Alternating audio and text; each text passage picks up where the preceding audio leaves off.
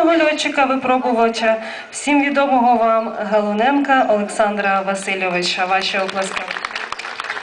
Дорогие гостомельчане и гости этого очень важного мероприятия.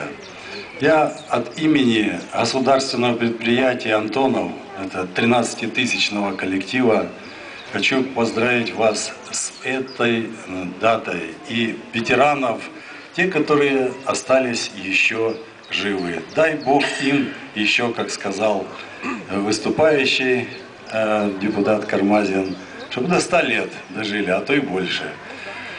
Я, э, как говорится, не молодой еще, э, но как ребенок войны. Мои э, без родителей я, в общем-то, э, жил и трудился. Поэтому для меня это, этот праздник, это событие, это 9-8 марта, э, мая, это очень важные дни. От всей души желаю всем здоровья и чтобы вот это мероприятие каждый год устроители дальше продолжали устраивать.